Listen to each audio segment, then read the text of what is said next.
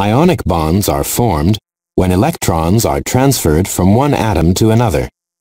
For example, one electron can move from the sodium atom to the chlorine atom. After the electron is transferred, each original atom has changed its charge and is now called an ion. The sodium ion, having lost an electron, now has a positive 1 charge. The chloride ion, having gained an electron, now has a negative 1 charge. The transfer of electrons that formed the sodium and chloride ions gives them opposite charges. The attraction between the opposite charges of the sodium and chloride ions is called an ionic bond.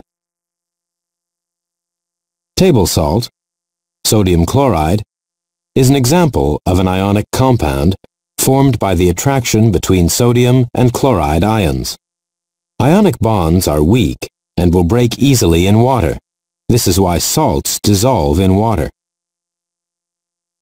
Since living systems are filled with watery solutions, the weak ionic bonds are uncommon in the body.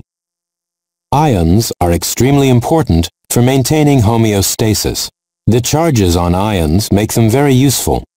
For example, movement of sodium ions through a nerve cell membrane enables nerve impulses to be generated.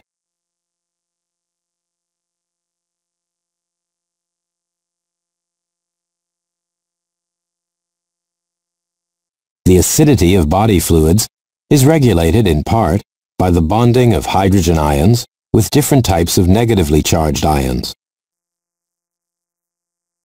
Bone gets its hardness and strength from the reaction of calcium, phosphate, and carbonate ions.